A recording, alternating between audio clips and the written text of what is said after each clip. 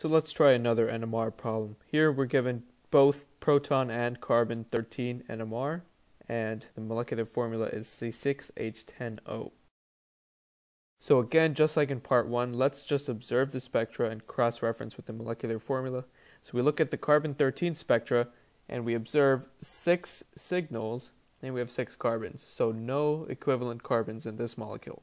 And if we look at proton NMR, it appears that the highest intensity signal is the 3H singlet here, but of course it's 3H, it's probably a methyl, so if I just scan A through E, it doesn't look like we have any integration of signals. So no integration, no equivalent carbons. So now we should calculate DU and C, our functional groups, right after. Like in part 1, because we're only dealing with carbons, hydrogens, and most importantly oxygen, oxygen isn't accounted for in DU. So with a DU of 2, it's likely we have two pi bonds here because it doesn't seem like we have an alkyne and it doesn't look like we have a benzene ring either. We have complex splitting, so that's evidence for an alkene.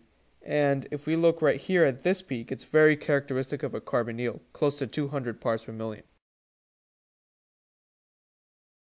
This time the alkene is probably internal because the signals are between 6 and 7 parts per million. We observe that here, internal alkenes have higher chemical shifts between 5.2 to 5.7. But in this case, because we have oxygen in our compound, it's very likely the alkene is very near to electronegative atoms. In other words, very close to the carbonyl, or as close as possible, because this signal is very close to 7 whereas the upper range here is 6.5. Now, if this compound included an aldehyde, we would see a chemical shift close to 10. However, because we don't see that, it's very likely this is a ketone. So now let's try to decipher all the signals A through E, because eventually we do need to label the location of each of them. So signal A is a triplet 3H. So that's a methyl group. Signal B is a 2H quintet, meaning we have four proton neighbors. And because of its low frequency, it's probably very close to the methyl. So I can begin piecing together my structure already. If we have a CH2 group next to four protons, one of them is very likely to be the methyl. On the other side, we must have a CH. In total, four protons which are adjacent to these two. Signal C is further evidence of a ketone because it's a singlet peak, close to 2.3 to 2.2 parts per million. That could be cross-referenced right here with a chemical shift of 2.1 to 2.6. These are protons that are adjacent to carbonyls. So this compound is very likely a methyl ketone, a methyl group being one of these R groups. Now let's take a look at the alkene signals D and E. In signal D we have a 1H doublet, and signal E we have 1H doublet of triplet. Doublet of triplet would mean on one side we have one proton neighbor, and on the other side we have a CH2 group. So if we pretend we have an alkene, this hydrogen here that we're calling signal E should have one proton neighbor to the right, for example, and two to the left. So that's where this doublet of triplet comes from. The hydrogen here has an adjacent alkene hydrogen here that will split this signal into a doublet, and towards the left we have two supposed protons forming a triplet. So a doublet of triplet is a result of these three adjacent hydrogen. Now signal D is a 1H doublet, so if we called this the doublet of triplet, this must be the doublet, and it only has one neighbor towards the left here, this adjacent proton in turquoise. That means to the right, there must be a carbon that does not bear any protons whatsoever.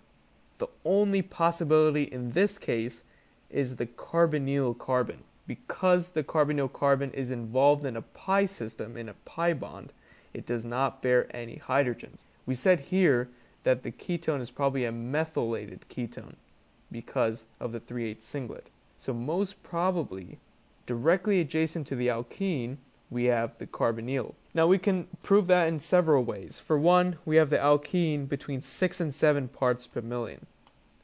That's indicative of an internal alkene near electronegative atoms. Because one of our signals is close to 7, the alkene is probably as close as possible to the ketone, forming the conjugated product. What that means is if I have a ketone here, for example, and I put in my methyl group, which is this 3H singlet, the alkene must be as close to the ketone as possible, like we were saying. So if I draw in an arbitrary carbon chain right here, there's no way the double bond can go here because carbon does not expand its octet. That means the alkene must go right here between the alpha and beta carbons, which are relative to the carbonyl carbon.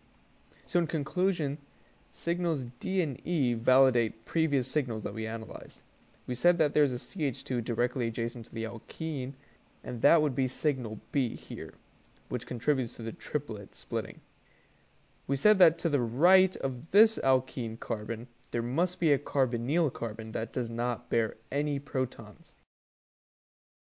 Let's try to piece together the structure. We have a carbonyl, specifically a ketone, so let's draw that in first. The 3H singlet is the methyl directly attached to the ketone. Let's draw that in too.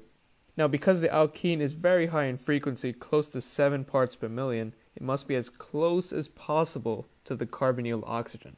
The only possibility there is to have it between the alpha and beta carbons. Now we have four carbons, two are remaining to satisfy the molecular formula. We look towards signals A and B then, since C, D, and E are covered.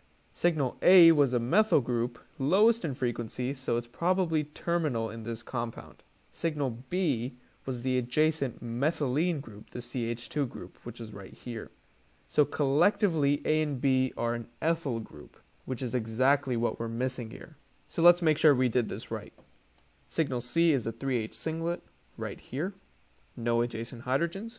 Signals A and B are the ethyl group, 3H triplet, right here.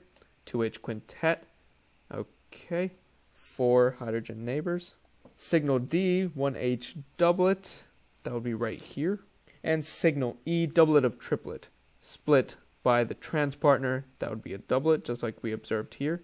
And towards the left by the CH2 group, that would split it into a triplet. So this would be our final answer.